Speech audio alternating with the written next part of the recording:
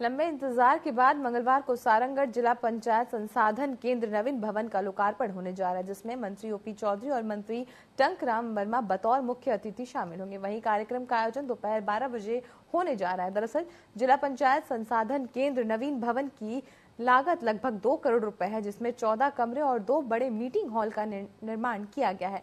वहीं भवन का निर्माण विभिन्न ट्रेनिंग के लिए बनाया गया है, लेकिन जिला पंचायत की भवन नहीं होने के चलते वैकल्पिक रूप में यही पर जिला पंचायत कार्यालय का संचालन किया जाएगा। हमारा जिला पंचायत संसाधन केंद्र इसकी लागत लगभग दो करोड़ है और इसको हम जल्दी पूरा कर लिए हैं। कल इसका उद्घाटन हो रहा है। इसमें चौदह कमरे हैं और ऊपर दो मीटिंग हॉल बड़े बड़े मीटिंग हॉल हैं। ये चूँकि ट्रेनिंग कक्ष के नाम से बनाया गया था और क्योंकि अभी बिल्डिंग जिला पंचायत की स्वीकृत हुई नहीं है तो अभी हमारा कार्यालय यहीं पर चलेगा। और जिला पंचायत कार्यालय के लिए यहाँ पर लोगों को भटकना पड़ता था उनको पता बताना पड़ता था जनपद के बगल में है। आप सारे लोग डायरेक्ट यहाँ पर आ सकते हैं और यहाँ पर सारी योजनाओं का क्रियान बेहतर तरीके हो, हो, हो जाएगा।